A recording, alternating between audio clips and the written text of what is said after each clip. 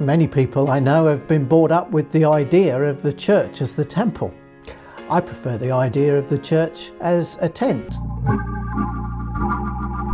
I'm Nick Stanyon, Synod Evangelist, and in almost 30 years of ministry, I've learnt something very important, and that is that our buildings can be incredibly useful tools for our mission, but often they become something else.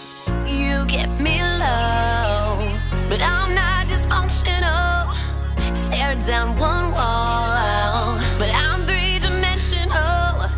You can never crush me from inside out. Sometimes our modern buildings can prevent us from being that tent. They become a burden around our necks, straining our resources. And sometimes they become the focus or even the actual mission of the church itself.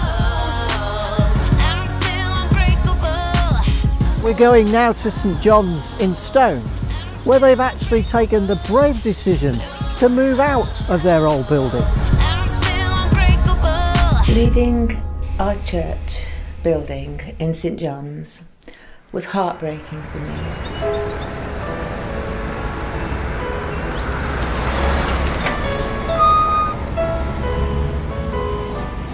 Started uh, Coffee Morning about eight years ago and we had it in the hall. I had use of the building for girl guiding, for big events, In the old building, we had prayer lunches. for first responders, for cancer research. Well, the building had been there 130 years. wonderful building to stand, to speak, do flowers, bring people in from our community into our building, So, to a lot of people, it was a very important part of their lives.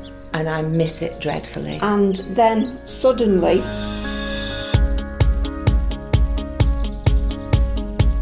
Uh, we had hoped that we'd be able to modify the inside.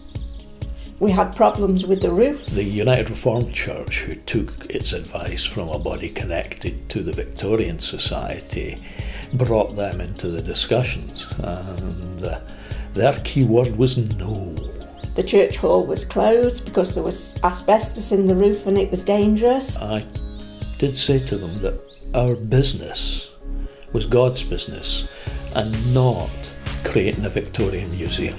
We needed to get out of the building because it was taking all of our energy and thought, when really what we wanted to do was be out of the community doing mission. God eventually led us out over the bridge into the community.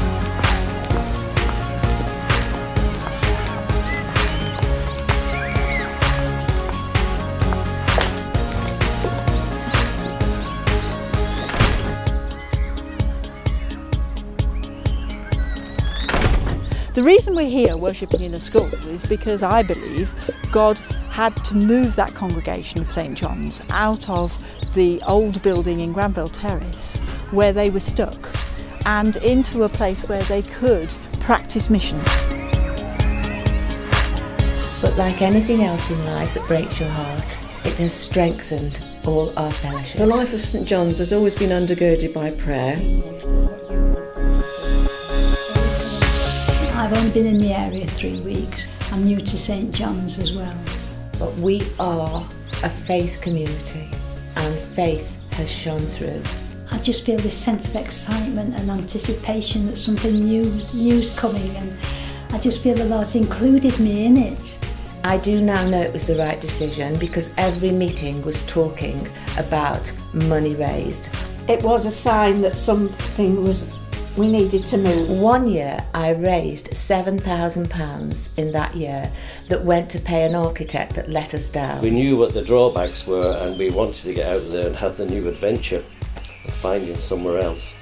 Everyone feels very important and involved. So we now don't talk, you know, well, how are we going to keep the building going? It's so welcoming. So that has been cathartic. We had to find somewhere else to have our ladies' meetings. We weren't sure how we would operate, This is where St John's is currently worshipping. and because we moved there, um, we've had no people who live there who have not, had nothing to do with the church before coming down to our meetings. And we had to learn how to set up things ready for worship. People were able, in small groups, um, away from uh, church buildings, to uh, discuss their anxieties. So we got together and decided that we would make these teams. So we have learned to downsize a little. Knowing that they would be supported by the groups that they were in. Uh, we have learnt and we believe the lesson from God is that we can be a church anywhere. That would never have happened had we stayed in Granville Terrace. If St John's can do it, the good news is that you can do it too.